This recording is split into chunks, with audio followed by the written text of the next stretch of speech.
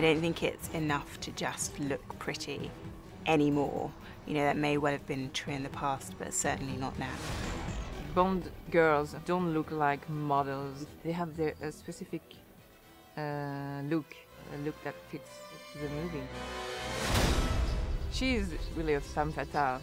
There is a complexity in, in, in this part which I, I like very much.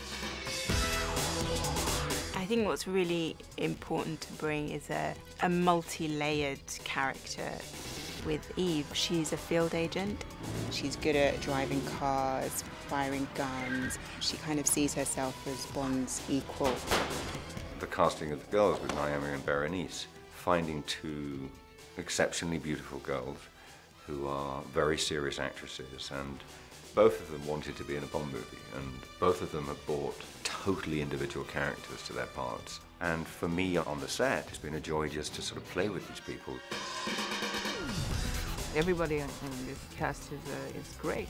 And also, I feel that I couldn't find uh, a better director to, to work with for my first English role because he's very humble and funny, and all that creates a great atmosphere to, to work in.